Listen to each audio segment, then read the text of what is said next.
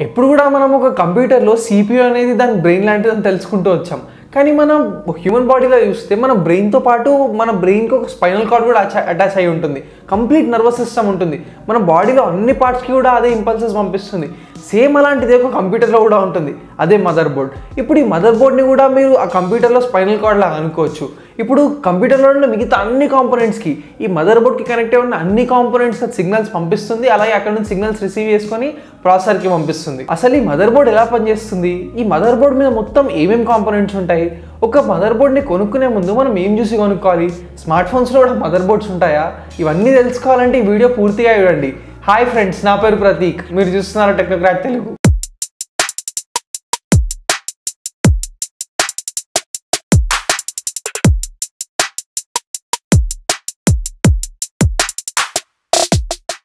జనరల్గా మనం మదర్ బోర్డ్ని ఒక డెస్క్టాప్ పీసీలోనే చూస్తుంటాం. కానీ ఇది అన్ని ఎలక్ట్రానిక్ డివైజెస్లో కూడా ఉంటుంది. ఈ మదర్ బోర్డ్ పై మనకు చాలా స్లాట్స్ కనిపిస్తాయి. ఈ స్లాట్స్ లోపలే కాంపోనెంట్స్ అన్ని ఫిట్ అవుతూ పోతాయి. ఇప్పుడు మీరు బయట నుంచి చూస్తే మీ కంప్యూటర్లో ఈ మదర్ బోర్డ్ అన్నిటికన్నా పెద్ద పీసీబీ లాగా కనిపిస్తుంది. దీనిపై ఓన్లీ స్లాట్సే కాకుండా కనెక్టర్స్ ఉంటాయి. చాలా చిన్న చిన్న చిప్స్ ఇంకా కాంపోనెంట్స్ చాలా ఉంటాయి. ఈ మదర్ బోర్డ్ అనేది ఒక బేర్ పీసీబీ మాత్రమే. పీసీబీ అంటే పర్ఫరేటెడ్ సర్క్యూట్ బోర్డ్ ఈ బోర్డ్ మొత్తంలో కూడా సర్క్యూట్ ఉంటుంది. ఆ చిన్న చిన్న హోల్స్ ద్వారా మనం కాంపోనెంట్స్ ఫిట్ చేస్తున్నాం. ఇప్పుడు ఒక సిపియూని కానీ జీపీయూని కానీ ఇప్పుడు సాకెట్లో పెట్టినప్పుడు లేదా అది మదర్ బోర్డ్కి మనం సోల్డర్ చేసినప్పుడు పర్మనెంట్గా కనెక్ట్ చేసి పెట్టినప్పుడు అప్పుడు దాని ప్రాసెసింగ్ పవర్ వస్తుంది. అప్పుడు అది ఇన్ఫర్మేషన్ ప్రాసెస్ చేయగలుగుతుంది. సింపుల్గా చెప్పాలంటే మదర్ బోర్డ్ని మీరు ఒక ప్లాట్ఫామ్లా అనుకోవచ్చు. మదర్ బోర్డ్ పై ఉన్న డెలికేట్ కాంపోనెంట్స్ అన్నింటినీ చాలా ఫాస్ట్గా కనెక్ట్ చేస్తుంది. ఇది ఒక ఇన్ఫ్రాస్ట్రక్చర్లా మీరు అనుకోవచ్చు. లెగో బ్లాక్స్లో ఎలాగైతే మనం కాంపోనెంట్స్ పెడుతూ తీస్తూ ఉంటామో అలాగే మదర్ బోర్డ్ పై కూడా చేయొచ్చు. ఈ ఇన్ఫ్రాస్ట్రక్చర్లో ఇప్పుడు సిగ్నల్స్ని డెలివరీ చేస్తుంది పవర్ని కూడా డెలివరీ చేస్తుంది. జనరల్గా కంప్యూటర్స్లో మదర్ బోర్డ్ వాడడంలో అడ్వాంటేజ్ ఏంటంటే దీంట్లో క్రిటికల్ కాంపోనెంట్స్ అన్ని సిపియూ జీపీయూ ర్యామ్ స్లాట్స్ ఇంకా ఏ విధమైన గ్రాఫిక్ కార్డ్స్ ఏవి కావాలన్నా కూడా వాటిని సిపియూ మ్యానుఫ్యాక్చరర్స్ తయారు చేయరు. ఓన్లీ దాంట్లో ఉండే చిన్న చిన్న నాన్ ప్రాసెసింగ్ కాంపోనెంట్స్ని మాత్రమే తయారు చేస్తారు. ఎలక్ట్రికల్ కాంపోనెంట్స్ మాత్రమే తయారు చేస్తారు. దీనివల్ల ఈ క్రూషల్ కాంపోనెంట్స్ అన్ని మనం వేరే కంపెనీస్ నుంచి తెచ్చుకొని దీనిపై ఫిక్స్ చేస్తాం. సో మనకి ఇక్కడ చాయిస్ ఉంటుంది. మనకు కావాల్సిన కాంపోనెంట్స్ మనం పెట్టుకోవచ్చు. అలా కాకుండా ఫ్లెక్సిబిలిటీ ఉంటుంది. అంటే మనకి అవసరమైనప్పుడు ఎక్కువ కాంపోనెంట్స్ మనం దాన్ని యాడ్ చేసి దాని కెపాసిటీని పెంచవచ్చు లేదా అప్గ్రేడ్ చేయాలనుకున్నప్పుడు అది తీసేసి వేరే కాంపోనెంట్తో కూడా మనం రీప్లేస్ చేయొచ్చు. ఎలక్ట్రికల్ డివైస్ అన్నీ కూడా బండ బండ మెషిన్స్ నుంచి చిన్నగా అవుతున్నాయి. అంటే దానికి ఖచ్చితంగా పీసీబీనే కారణం. ఎందుకంటే కాంప్లికేటెడ్ సర్క్యూట్స్ అన్నిటిని కూడా చిన్న ప్లేస్లో డిఫరెంట్ డిఫరెంట్ లెవెల్స్లో కూడా ఒక పీసీబీనే ఇంటిగ్రేట్ చేయగలుగుతుంది. పీసీబీని ఎప్పుడన్నా మీరు దగ్గర నుంచి చూస్తే జనరల్గా అన్నీ కూడా గ్రీన్ కలర్ లేదా బ్లూ కలర్లో ఉంటాయి. దానిపైన మీకు సిల్వర్ గీతల్లాగా కాపర్ గీతల్లాగా కనిపిస్తుంటాయి. అంటే ఆ పీసీబీ లోపల అక్కడ మీకు ఆ కాపర్ రేల్స్ ఉన్నాయి ఆ రేలింగ్స్ లాంటివి ఉంటాయి. ఇప్పుడు మీరు క్లోజ్గా గమనిస్తే కొన్నిసార్లు కొన్ని జిగ్జాగ్గా ఉంటాయి. ఇలా జిగ్జాగ్గా ఉండడానికి కూడా కారణం ఉంది. ఎందుకంటే మనం లెంత్ మ్యాచింగ్ చేయాల్సిన అవసరం ఉంది. ఇప్పుడు మనం ఏదైనా సిగ్నల్ని పంపిస్తున్నామంటే ఇప్పుడు ఉదాహరణకి రెండు పాయింట్స్ తీసుకుందాం. ఈ రెండు పాయింట్స్ దూరం దూరంగా ఉన్నాయి ఈ రెండు దగ్గరగా ఉన్నాయి. ఇక్కడ నుంచి ఇక్కడికి ఏదైతే లెంత్ ఉంటుందో ఇక్కడ కూడా అదే లెంత్ రావడానికి మధ్యలో మనం జిగ్జాగ్ చేస్తూ ఉంటాం. సో దానివల్ల లెంత్ మ్యాచింగ్ జరుగుతుంది. సిగ్నల్ని పంపించినప్పుడు రెండు కూడా అవతల పాయింట్కి సేమ్ టైంలో రీచ్ అవ్వాల్సిన అవసరం ఉంది. అందుకే లెంత్ మ్యాచింగ్ చేస్తాం. ఇప్పుడు పీసీబీస్లో ఉండే ఈ రేలింగ్స్ థిక్నెస్ కూడా పర్ఫెక్ట్గా ఉండాలి వాటి విడుతు కూడా పర్ఫెక్ట్గా ఉండాలి. ఆ రెండింటి మధ్యన డిస్టెన్స్ కూడా మనం చాలా జాగ్రత్తగా డిజైన్ చేయాలి. లేకపోతే ఏమవుతుందంటే ఇంటర్ఫియరెన్స్ కారణంగా డేటా కరప్ట్ అవుతుంది. మనం పంపించిన సిగ్నల్ అవతలకి చేరకపోయే ఛాన్స్ ఉంది. అందుకే డిస్టెన్స్ కూడా మనం చాలా జాగ్రత్తగా డిజైన్ చేయాలి. జనరల్గా మనం మదర్ బోర్డ్ని చూడగానే మదర్ బోర్డ్ ఓన్లీ ఒక హార్డ్వేర్ కాంపోనెంట్ అనుకుంటాం. కానీ దీంట్లో సాఫ్ట్వేర్ లేదా ఫర్మ్వేర్ కాంపోనెంట్స్ కూడా ఉంటాయి.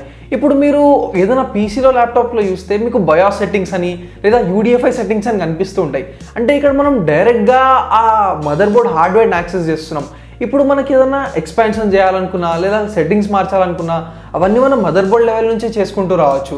ఇప్పుడు నార్మల్ కన్జ్యూమర్ ఎలక్ట్రానిక్స్లో ట్యాబ్లెట్స్లో ఫోన్స్లో కూడా ఈ బయాస్ సెట్టింగ్స్ అనేవి ఉంటాయి. కానీ అవి యూజర్స్ అంటే మనలాంటి నార్మల్ యూజర్స్ ఈ బయాస్ సెట్టింగ్స్ని యాక్సెస్ చేయలేరు. ఇప్పుడు మనం ఒక్కొక్కటిగా మదర్ బోర్డ్ పై ఉండే కాంపనెంట్స్ అన్నీ కూడా డీటెయిల్గా చూద్దాం. అన్నిటికన్నా ముఖ్యమైనది సిపియూ స్లాట్ మనం దీపి దీనిలోనే మన సిపియూ ఆ చిప్ని కూర్చోబెడతాం. ఇప్పుడు పాత ప్రాసెసర్స్లో చూస్తే మన క్యాట్రిడ్జెస్ లా వచ్చేవి. ఇంటెల్ పెంటియం టూ వరకు కూడా మనకు క్యాట్రిజెట్స్ లా వచ్చేవి. ఇప్పుడు మనం పాత నింటెండో గేమ్స్కి ఎలాగైతే ఇలా క్యాసెట్స్ని తీసుకెళ్ళి ఫిక్స్ చేస్తామో అప్పట్లో ప్రాసెస్ కూడా అలాగే వచ్చేవి. ఇప్పుడైతే మనకు ప్రాసెసర్స్ కింద పిన్స్ లాగా వస్తున్నాయి. ఇంటెల్ ప్రాసెసర్ సాకెట్స్లో మనం చాలా కాలంగా చూస్తే ఒక కొత్త మౌంటింగ్ సిస్టమ్ వచ్చింది. అదే ఎల్జీఏ ఎల్జీఏ సాకెట్స్ అని మీరు వినుంటారు. ఎల్జీఏ అంటే ల్యాండ్ గ్రిడ్ అరే ఇప్పుడు ప్రాసెసర్ కింద మీరు చూస్తే మీకు కాంటాక్ట్ ప్యాడ్స్లా ఉంటాయి. ఇలా సర్కిల్లా ఉండి ఫ్లాట్గా ఉంటాయి. కాపర్ కాంట్రాక్ట్స్ కొన్నిసార్లు గోల్డ్ కాంట్రాక్ట్స్ కూడా ఉంటాయి. ఇప్పుడు ఈ ఇంటెల్ సిపియు సాకెట్లో ఏమవుతుందంటే అక్కడ మీకు ఇలా పిన్స్ లాగా ఇలా ముళ్ళులా ఉంటాయి. సో ప్రాసెసర్ వచ్చి డైరెక్ట్గా కాంటాక్ట్ ప్యాడ్స్కి టచ్ అవుతుంది. ఈ ఎల్జీఏ సాకెట్స్లో కూడా మనకు చాలా రకాలుగా ఉంటాయి. ముఖ్యంగా ఇది మనం ఓన్లీ ఇంటెల్ సిపిఎస్లోనే చూడొచ్చు.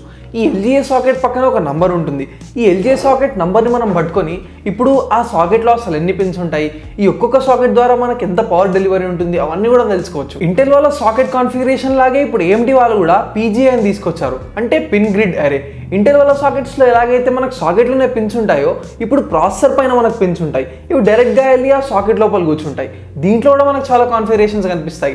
FM one FM two AM one AM two అని. ఇక్కడ కూడా మనం పిన్స్ గురించి తెలుసుకోవచ్చు. ఒక మదర్ బోర్డ్ సాకెట్లో మనం ప్రాసెసర్ని ఇన్స్టాల్ చేసేటప్పుడు ఎప్పుడు కూడా దాన్ని పుష్ చేయకూడదు. అక్కడ మనకు ఒక రిటెన్షన్ ఆర్మ్ ఉంటుంది. పర్ఫెక్ట్గా ప్లేస్ అయిన తర్వాత మనం ఆ రిటెన్షన్ ఆర్మ్ క్లిక్ చేస్తే అది ఆ సాకెట్లో కూర్చుంటుంది. మనం ఒకవేళ మిస్ అయిన అయిన తర్వాత కూడా మనం దాన్ని పుష్ చేస్తే పిన్స్ బెండ్ అయిపోయే ఛాన్స్ ఉంటుంది బ్రేక్ అయిపోయే ఛాన్స్ కూడా ఉంటుంది. లేదా మదర్ బోర్డ్లో సాకెట్ డ్యామేజ్ అయ్యే ఛాన్స్ ఉంటుంది. ఇవన్నీ కూడా చాలా కాస్ట్లీ కాంపోనెంట్స్ ఎలా పడితే అలా ఆడుకోలేము ఒక కస్టమ్ బిల్డ్ పీసీ మనం తయారు చేస్తున్నప్పుడు ఇప్పుడు ఆ ప్రాసెసర్ ఫస్ట్ మనం చూస్ చేసుకోవాలి. దానికి కంపాటబుల్ సాకెట్ ఏదో తెలుసుకొని దానికి సంబంధించిన మదర్ బోర్డ్ అప్పుడు కొనుక్కోవాలి. మదర్ బోర్డ్స్లో మనం చూడాల్సిన ఇంకో ఇంపార్టెంట్ స్పెసిఫికేషన్ విఆర్ఎం విఆర్ఎం అంటే వోల్టేజ్ రెగ్యులేటర్ మాడ్యూల్ దీన్ని మీరు ఇంకో పవర్ సప్లై లాగా అనుకోవచ్చు. ఇప్పుడు మీ మీ డెస్క్టాప్ పీసీని ఇప్పుడు మీరు వాల్ సాకెట్కి కనెక్ట్ చేస్తున్నారు. సో ఫస్ట్ అక్కడ two twenty volts AC current వస్తుంది ఆల్టర్నేటింగ్ కరెంట్ వస్తుంది. ఫస్ట్ మనం దాన్ని ట్వెల్వ్ వోల్ట్ డీసీలో మార్చుకుంటున్నాం డైరెక్ట్ కరెంట్ లాగా. దీని తర్వాత ఇప్పుడు విఆర్ఎం విషయానికి వచ్చేసరికి మనకి వన్ వోల్ట్ కావాలా point nine five six seven volts కావాలా ఇలా ప్రిసైజ్ వోల్టేజ్ ఒక విఆర్ఎం ఇవ్వగలుగుతుంది. ఒక ఎస్ఎంపిఎస్ లాగా. అంటే మెయిన్ పవర్ సప్లై అంత పెద్దగా ఈ చిన్న చిన్న విఆర్ఎంస్ ఉండవు. చిన్నగా మాస్ఫెట్స్ లాగా ఉంటాయి. ప్రాసెసర్ పక్కన చిన్న డబ్బాల్లా ఉంటాయి. ఇప్పుడు ప్రాసెసర్కి మనం ఏదైతే హీట్ సింక్ని వాడుతున్నామో ఈ మాస్ఫెట్స్ హీట్ అయినప్పుడు కూడా వాటి ద్వారానే హీట్ మొత్తాన్ని డిసిపేట్ చేస్తాయి. ఇప్పుడు ప్రాసెసర్ ప్రతిసారి నాకు ఈ పిన్కి ఇంత వోల్టేజ్ పంపించు ఇంత పవర్ పంపించు అండ్ ప్రిసైజ్గా ఒక అమౌంట్ ప్రతి ఒక్క మాస్ఫెట్ని అడుగుతుంటుంది. మాస్ఫెట్ అంతే వోల్టేజ్ని దానికి డెలివరీ చేస్తుంది. మదర్ బోర్డ్స్లో మనకి ఈ విఆర్ఎంస్ పక్కనే చోక్స్ కూడా ఉంటాయి. చోక్ని జనరల్గా మీరు చాలా ఎలక్ట్రానిక్ అప్లయన్సెస్లో యూస్ ఉంటారు. ఈ చోక్ బేసిక్గా మీరు ఒక కెపాసిటర్ అనుకోవచ్చు. ఈ కెపాసిటర్ టెంపరీగా ఛార్జ్ని స్టోర్ చేసుకుంటుంది.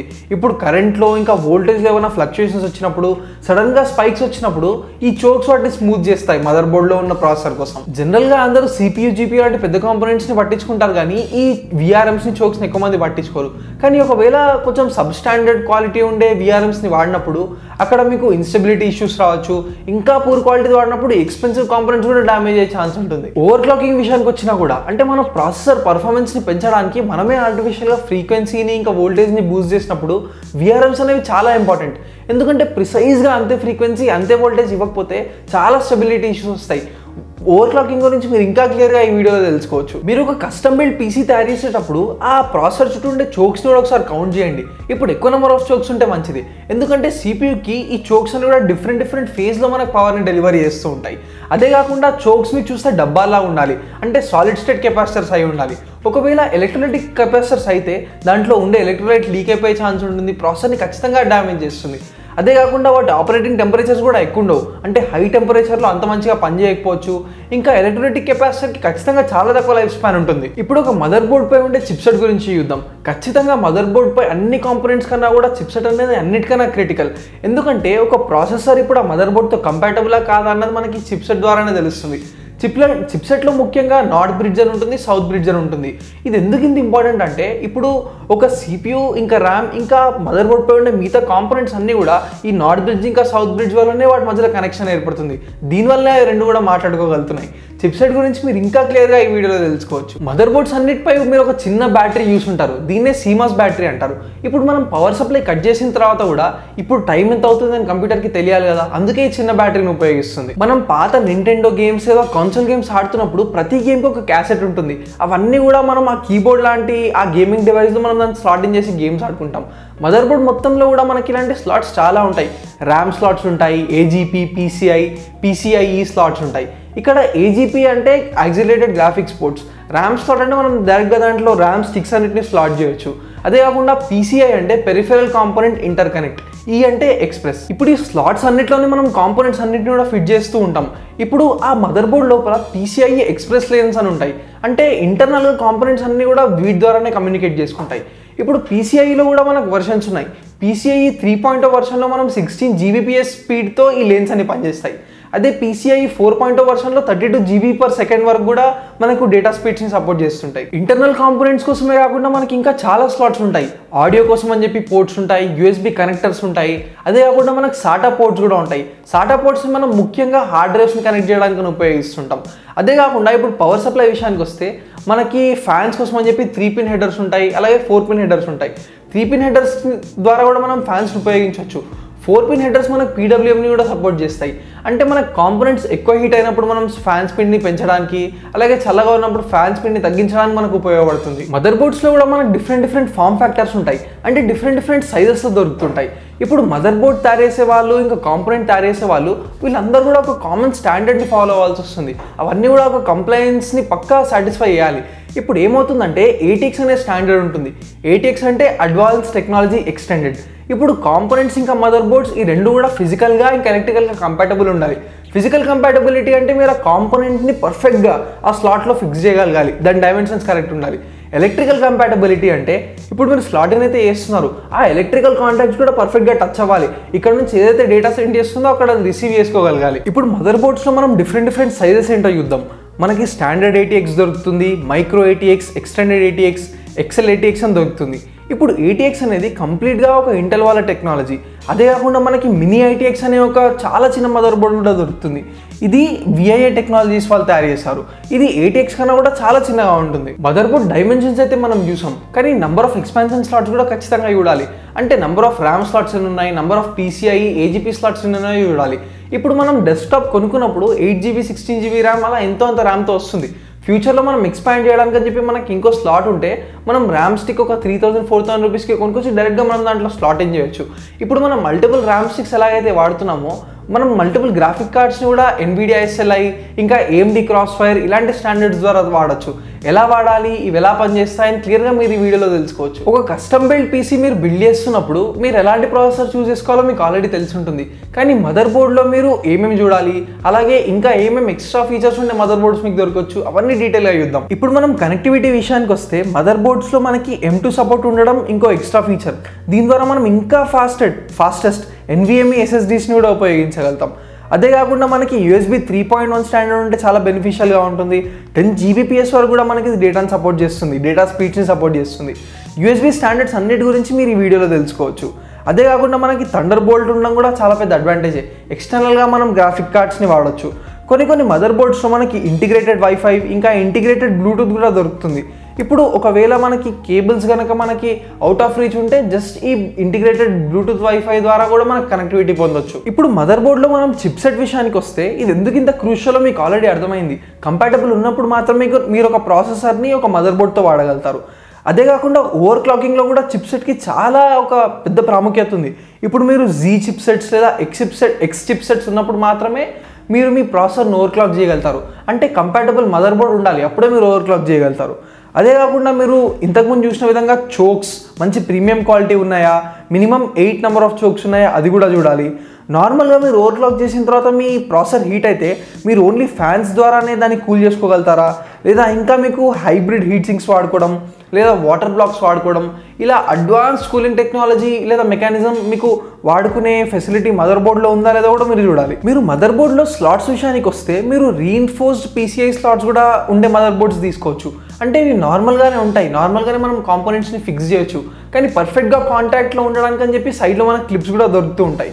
ఇప్పుడు ఒకవేళ మీరు ఒక ట్రాన్స్పరెంట్ క్యాబినెట్ వాడుతున్నప్పుడు మీరు చాలా హై అండ్ గేమింగ్ కాంపోనెంట్స్ అంటే మంచి మంచి గ్రాఫిక్ కార్డ్స్ ఉపయోగిస్తున్నప్పుడు మీరు ఆర్జీబీ లైటింగ్ ఉండే మదర్ బోర్డ్ తీసుకుంటే కూడా మీకు చాలా అడ్వాంటేజెస్ ఉంటుంది. అది బయట నుంచి చూస్తే చాలా బాగా అనిపిస్తుంది. నిజం చెప్పాలంటే మదర్ బోర్డ్తో అసలు ఏ విధంగా కూడా పర్ఫార్మెన్స్కి సంబంధం ఉండదు. మనం ఎలాంటి సిపియు ఎలాంటి GPU RAM capacity RAM type ఇంకా మిగిలిన ఎక్స్టెన్షన్ కాంపోనెంట్స్ అన్ని కూడా ఎలాంటివి చూస్ చేసుకుంటున్నామని దాన్ని బట్టి పర్ఫార్మెన్స్ మొత్తం కూడా డిపెండ్ అయి ఉంటుంది. ఒక మదర్ బోర్డ్లో మనం జస్ట్ కంపాటబిలిటీ రెండు విషయాల్లో చూడాలి. ఫస్ట్ది ఆ సాకెట్కి సిపియూ సాకెట్ కనుక పర్ఫెక్ట్ ఉందా అని చూడాలి. సెకండ్ సెకండ్ది మనం చిప్ సెట్ చూడాలి. ఇప్పుడు మనం డిస్కస్ చేసిన ఫీచర్స్ అన్నీ కూడా అడిషనల్ ఫీచర్సే మీరు నాన్ బ్రాండెడ్ మదర్ బోర్డ్ తీసుకున్నా కూడా కంపాటబిలిటీ పర్ఫెక్ట్గా ఉంటే సరిపోతుంది. జస్ట్ మీరు విఆర్ఎంస్ ఇంకా చోక్స్ ఇవి మంచి క్వాలిటీ ఉన్నాయో చూడాలి సరిపోతుంది. పాతకాలంలో మనం చూస్తే ఎలక్ట్రానిక్ అప్లయన్సెస్లో అన్నిట్లో కూడా ఇండివిజువల్ కాంపోనెంట్స్ని వైర్స్తో కనెక్ట్ చేసేవాళ్ళు. ఇవి చాలా బల్కీ ఉండేవి. అన్ని ఒక ప్లేస్లో మనం ప్యాక్ చేయట్లేదు కాబట్టి. అలాగే ఫ్రిజైల్ కూడా ఉంటాయి. ఈజీగా ఈ వైర్స్ తెగిపోతాయి. మనకు అసలు ఆ ఎలక్ట్రికల్ కాంటాక్ట్స్ ఎక్కడ బ్రేక్ అయ్యాయన్న విషయం అర్థం కూడా అవ్వదు. ఆ తర్వాత పోన్ పోన్ మెల్లగా కాంపోనెంట్స్ అన్ని ఇండివిజువల్ కార్డ్స్ పై తీసుకొచ్చారు. డ్యామేజ్ అయితే మనం వీటిని రీప్లేస్ చేయొచ్చు. ఇప్పుడు మదర్ బోర్డ్స్లో అన్నీ కూడా మనకు సింగిల్ పీస్ ఆఫ్ పీసీబీ పై ఉంటాయి. మనకు అవసరమయ్యే కాంపోనెంట్స్ మనం ఇన్సర్ట్ చేయొచ్చు రీప్లేస్ కూడా చేయొచ్చు. మనకి ఎక్కువ ర్యామ్ కావాలా ఒక కొత్త ర్యామ్ స్టిక్ కొనుక్కొచ్చి ఇన్సర్ట్ చేయొచ్చు. మల్టిపుల్ జీపీయూస్ వాడాలా వాటికి కూడా స్టాండర్డ్స్ ఉన్నాయి. ఇప్పుడు మనం అదే ల్యాప్టాప్స్లో చూస్తే ఓన్లీ మనకు ఆ ఫ్లెక్సిబిలిటీ ర్యామ్లో మాత్రమే ఉంటుంది. అడిషనల్ ర్యామ్ స్టిక్స్ని మాత్రమే పెట్టొచ్చు. సిపియూని కానీ జీపీయూని కానీ చిప్సెట్ని వీటన్నిటిని కూడా మదర్ బోర్డ్కి షోల్డర్ వేసి ఉంచుతారు. సో మనం వీటిని రీప్లేస్ చేయలేం. అందుకే ఒక ల్యాప్టాప్ కొనేటప్పుడు మనం చాలా చాలా జాగ్రత్తగా ఇవన్నీ చూస్ చేసుకోవాలి. ఇప్పుడు ఈ మదర్ బోర్డ్ పై ఉండే కాంపోనెంట్స్ అన్నిటిని డిఫరెంట్ డిఫరెంట్ మాడ్యూల్స్ అన్నిటిని మనము సింగిల్ చిప్ అయి తీసుకురాగలితే ఎలా ఉంటుంది? ఒక సిస్టమ్ మొత్తాన్ని ఒక చిప్ అయి తీసుకురాగలితే ఎలా ఉంటుంది? మనం స్మార్ట్ ఫోన్స్లో దీన్నే చూస్తున్నాం. అందుకే దాన్ని ప్రాసెసర్ అనకూడదు. ఒక సిస్టమ్ అనే చిప్ అనాలి. దీంట్లో చాలా మాడ్యూల్స్ ఉంటాయి. సిపియు జీపీయూ ఐఎస్పి డిఎస్పి ఇంకా కనెక్టివిటీ మాడ్యూల్స్ ఇవన్నీ ఉంటాయి. వీటి గురించి మీరు ఇంకా క్లియర్గా తెలుసుకోవాలంటే ఖచ్చితంగా ఈ వీడియో చూడండి. మదర్ బోర్డ్ అనే పేరుని మనం జనరల్గా డెస్క్టాప్ కంప్యూటర్స్లో ఇంకా కొన్ని ల్యాప్టాప్స్లో మాత్రమే వింటూ ఉంటాం. కానీ ప్రతి ఒక్క ఎలక్ట్రానిక్ అప్లయన్స్కి ఉంటుంది ప్రతి ఒక్క ఎలక్ట్రానిక్ డివైస్కి ఉంటుంది. స్మార్ట్ ఫోన్స్లో కూడా ఉంటుంది. ఇప్పుడు మీరు యాపిల్ ప్రోడక్ట్స్లో ఐఫోన్స్లో ఐప్యాడ్స్లో ఇంకా మ్యాక్స్లో చూస్తుంటే అక్కడ వాటిని లాజిక్ బోర్డ్ అని పిలుస్తూ ఉంటారు. అంటే సింపుల్గా వాళ్ళు మదర్ బోర్డ్కి వాళ్ళు లాజిక్ బోర్డ్ అనే పేరు ఇచ్చుకున్నారు తప్ప అది పనిచేసే విధానంలో ఏమాత్రం కూడా తేడా ఉండదు. నిజం చెప్పాలంటే అస్థెటికల్గా చాలా బాగుంటుంది. మంచి సిమెట్రిక్గా డిజైన్ చేస్తారు. మేము కాలేజ్లో ఉన్నప్పుడు మాకు ఐటీ వర్క్ షాప్ ఉండేది. అక్కడ ఒక కంప్యూటర్ని కంప్లీట్గా డిస్మాంటిల్ చేసి ఇది మదర్ బోర్డ్ ఇది సిపియు ఇది ర్యామ్ అని చూపించారు. అప్పుడు మేము కామెడీగా అనుకునే వాళ్ళం. మదర్ బోర్డ్ ఇక్కడ ఉంది మరి ఫాదర్ బోర్డ్ లేదా? అని చెప్పి. పాతకాలంలో అంటే ఒక ఫైవ్ టెన్ ఇయర్స్ ముందు కూడా చాలా మంది దగ్గర ఓన్లీ డెస్క్టాప్ పీసీస్ మాత్రమే ఉండేవి. ఇప్పటి కూడా కొంతమంది దగ్గర ఉన్నాయి. సో క్యాబినెట్ మొత్తంలో డస్ట్ ఫామ్ అయితే మొత్తం దాన్ని వాక్యూమ్ క్లీనర్తో క్లీన్ చేయడానికి క్యాబినెట్ ఓపెన్ చేస్తారు. లేదా కాంపోనెంట్స్ని రీప్లేస్ చేయడానికి కూడా ఓపెన్ చేస్తూ ఉంటారు. ల్యాప్టాప్స్కి వచ్చేసరికి మనకి ఫ్లెక్సిబిలిటీ పోయింది. ర్యామ్ని కూడా మనం చాలా ల్యాప్టాప్స్లో యాడ్ చేయలేం. అందుకని చాలామంది మదర్ బోర్డ్స్ని చూడట్లేదు మీరు ఎప్పుడన్నా ఒక డెస్క్టాప్ పీసీలో క్యాబినెట్ ఓపెన్ చేసి మదర్ బోర్డ్ని చూసారా వాటిలో ఉన్న కాంపోనెంట్స్ ఎప్పుడన్నా రీప్లేస్ చేశారా? నా కమెంట్స్లో చెప్పండి. ఈ వీడియో ప్రాసెసర్ సిరీస్లో భాగం. ప్రాసెసర్ సంబంధించిన ప్రతి ఒక్క డౌట్ సంబంధించిన వీడియో నేను ఈ సిరీస్లో తీశాను. ఈ వీడియో టైటిల్ పైన కనిపించే హ్యాష్ ట్యాగ్ని క్లిక్ చేసి కానీ లేదా వీడియో ఎండింగ్లో లెఫ్ట్ సైడ్లో వచ్చే ప్లేలిస్ట్ అండ్ స్క్రీన్ కార్డ్ని క్లిక్ చేసి కానీ మీరు ఈ ప్రాసెసర్ సిరీస్ మొత్తం చూడొచ్చు. ఈ ప్రాసెసర్ సిరీసే కాకుండా టెక్నోక్రాట్ వీడియో లైబ్రరీలో నేను ఇంకా చాలా సిరీస్లు మీకు అవగాహన పెంచడానికి అప్లోడ్ చేశాను. అవన్నీ చూడండి మీరు చాలా విషయాలు తెలుసుకోవచ్చు. మీరు టెక్నాలజీ గురించి ఇంకా ఏ కొత్త విషయాన్ని తెలుసుకోవాలన్నా కానీ పక్కన టెక్నోక్రాట్ తెలుగు అని కూడా సెర్చ్ చేయండి. మీకు ఖచ్చితంగా మీరు చూడాలనుకున్న వీడియో దొరుకుతుంది. మీకు ఈ వీడియో నచ్చితే ఖచ్చితంగా లైక్ చేయండి. నేను ఇలాంటి మరిన్ని ఇన్ఫర్మేటివ్ వీడియోస్ మీకోసం తీసుకురావడానికి ప్రయత్నిస్తాను. టెక్నోక్రాట్ తెలుగు ఛానల్ మీరు ఇంకా సబ్స్క్రైబ్ చేసుకోకపోతే ఇప్పుడే సబ్స్క్రైబ్ చేయండి. టెక్నాలజీ సంబంధించిన ప్రతి ఒక్క ఇన్ఫర్మేషన్ మీది ఛానల్లో చూడొచ్చు గంట కొట్టలేదా? నా లేటెస్ట్ వీడియో అప్డేట్స్ మీకు రావు మరి. గుర్తుంచుకోండి మీ అవగానే మీ శక్తి. ఎప్పుడు సైన్స్ నమ్మండి టెక్నాలజీ వాడండి. Thanks for watching bye